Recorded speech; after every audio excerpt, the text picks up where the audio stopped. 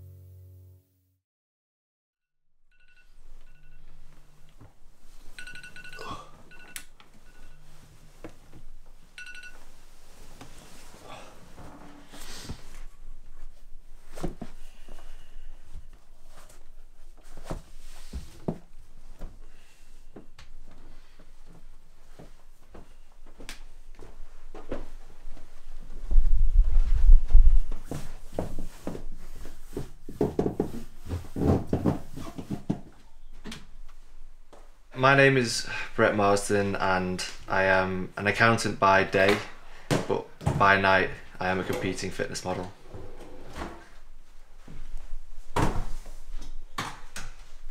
I, I've always been interested in fitness. Even when I was growing up, I was involved in sports. I played a lot of basketball, played a lot of rugby, and football. Uh, but it was only until I was 18 or 19 that I actually started looking at bodybuilding and fitness model. Uh, I've always been interested in. I've watched shows. It's not too far different to the foundations of just being interested in fitness in general. It's just it's there. Fitness and going to the gym as a lifestyle is there for your health, increase your well-being, increase your happiness, um, and it's just general a feel-good pastime.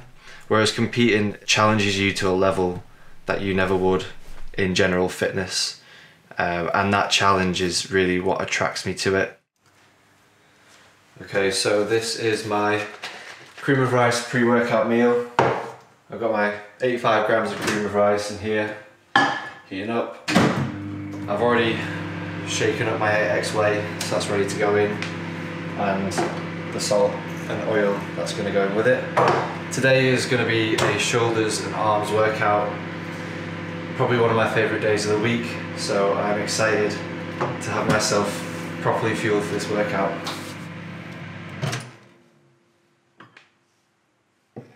This has been my pre-workout meal every day for the past six months or so and I don't have any plans of changing it anytime soon just because it works for me really well. Then one scoop of Myoband's greens just so I can get my micronutrient goals for the day as well as my macronutrient goals for the day. And this with the cream of rice. It's probably going to be really hot. Mm. Top stuff. So right now I am seven weeks, just over seven weeks away from my competitions. Um, I really start taking my preparation for the competition seriously maybe 12 to 14 weeks away.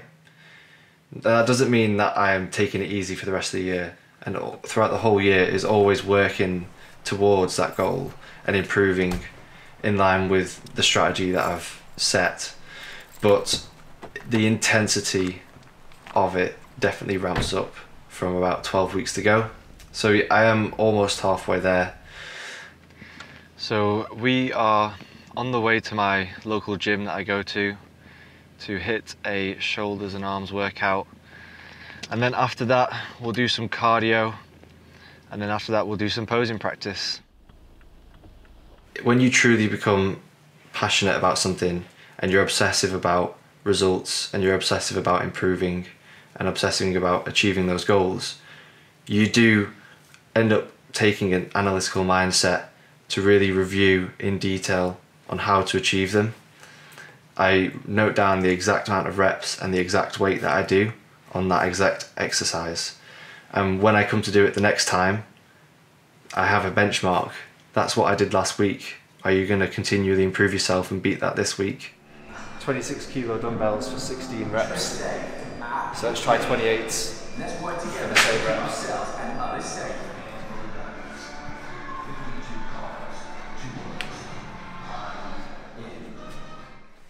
Sometimes, especially in fitness, it's hard to see whether you've improved because it's such a slow and gradual process. Sometimes you can get a few months down the line and think, God, have I have I actually improved? Have I really got better? But I don't really know. I'm just guessing. You know, by having by having that data and interpreting the data right, it's easy to set clear pathways to achieve, to achieve your goals. It's a black and white way of seeing have I improved? Because facts don't lie.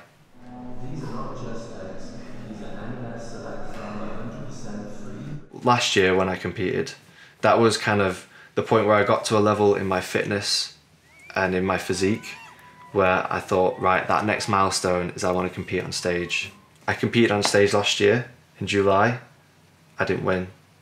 I placed second. So, what's the next milestone?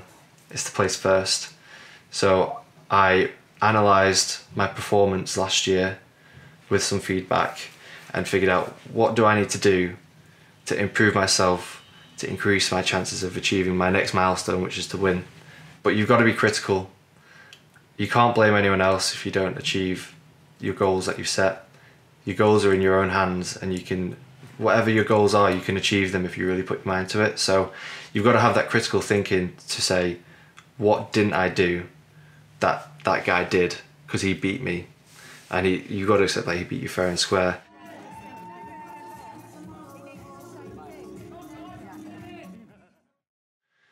So it's you've got to be really critical and say where did I go wrong, and I've identified those, and hopefully I'm not. Well, I know I'm not going to do it this time round, but it's also looking at the places where you can improve on that necessarily you couldn't have helped back then, but having the experience and the time to improve them for the next time you set your challenge. So I've spent the whole last year just working on those on those improvement points, and now hopefully with this next milestone, I'll be taking home that first place prize.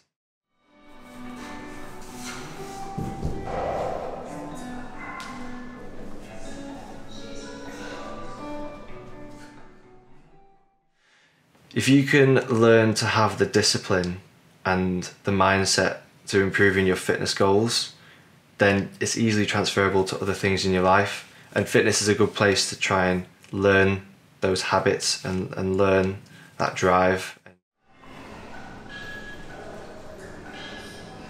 doesn't it's not just limited to fitness, but if you can apply that drive and that mentality of continually improving for everything in your life, then you'll be amazed at how much your life can improve and how much better things can get.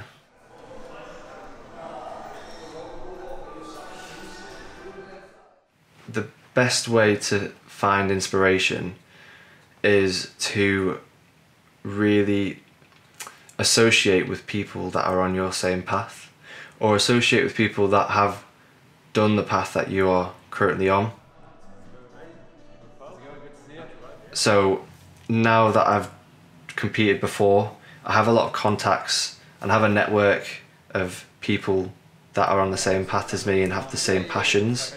And once you surround yourself with people with the same passions, that's when it you really get to feel comfortable in yourself and what you believe in and what you want to achieve. You don't need to, you know, you don't need to have a full time fitness job to achieve the goals you want in fitness. You can do both. You don't have to be a, a superhero to achieve them. You can have your nine to five day job.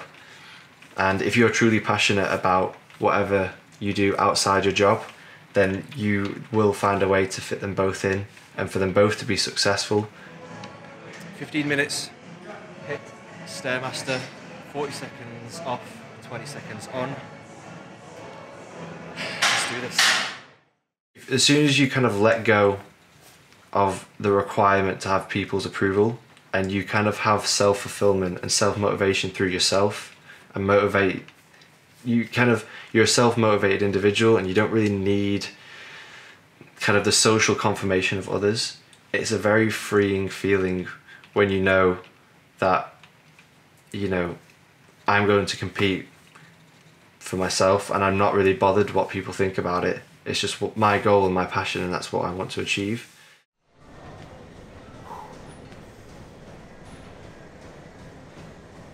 I want I want people to take away that there is always time for things that matter. And the time to start anything that you want to do is now. And as soon as the ball starts rolling, you'll be amazed at how easy it is to commit and and stay consistent with it.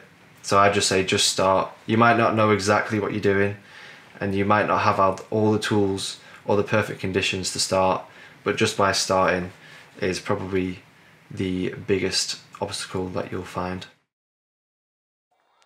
You're on stage competing against other people, but in reality, you're not competing against anyone else but yourself. Your drive for that progression is through always being better than you were before. Don't quit.